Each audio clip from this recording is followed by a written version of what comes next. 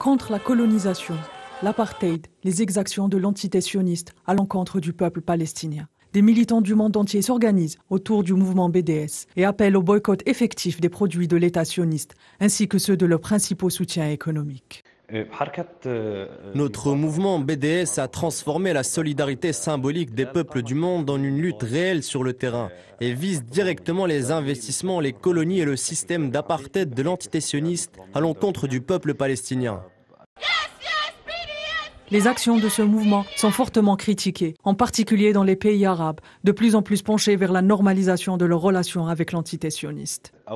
Notre travail aujourd'hui est plus que primordial, surtout en vue de la normalisation des Émirats arabes unis et du Royaume du Maroc avec l'entité sioniste. Aujourd'hui, les Émirats sont complices de l'État sioniste et de ses exactions à l'égard du peuple palestinien, sans compter l'alliance militaire du Maroc avec le colon israélien.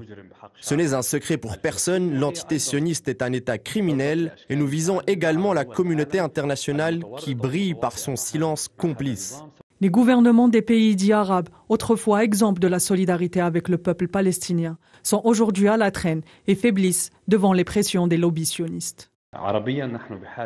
Cela dit, je dois dire que dans le monde arabe, nous avons besoin de plus d'activités et de campagnes en vue de normalisation des États arabes avec l'entité sioniste. Pour nous, Palestiniens, ces normalisations sont une trahison ultime à notre cause. Je pourrais même dire un poignard dans notre dos, mais nous gardons au cœur le soutien des peuples de cette région qui ne cessent de nous exprimer leur solidarité avec nos luttes.